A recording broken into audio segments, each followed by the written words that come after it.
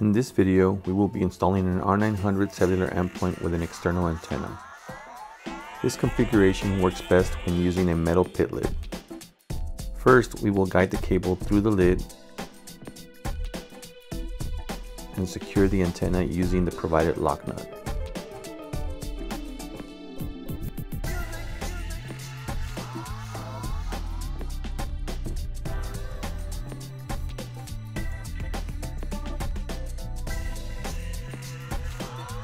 Once secure, we will connect the antenna to the endpoint using the Quick Connect connector simply by pressing it in and turning it clockwise a quarter turn until it locks in place.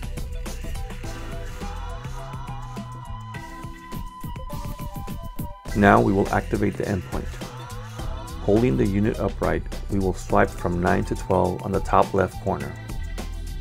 The back of the unit is empty. We want to keep this in mind so that when we swipe the unit, are swiping over the components.